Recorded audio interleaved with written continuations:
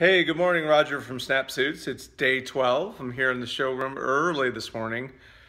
We're going to spend a fair amount of time today on a technology project to help solidify the sales process as it uh, pertains to our CRM tool and the way that our prospects visit us on the website and the information that is then shared from records that are entered from prospective brides and grooms uh, interested in snap suits for their wedding and how that translates to what happens on the sales floor uh, once that lead form has been uh, populated and submit gets clicked.